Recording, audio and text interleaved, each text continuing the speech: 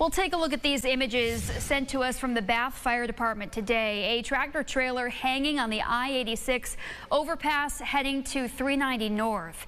We're told the crash happened around 4 a.m. A tractor trailer carrying bags of mulch ended up dangling over the highway there. The driver stuck in the cab. Fire crews say they were able to rescue the victim. No word yet on an exact cause of this crash.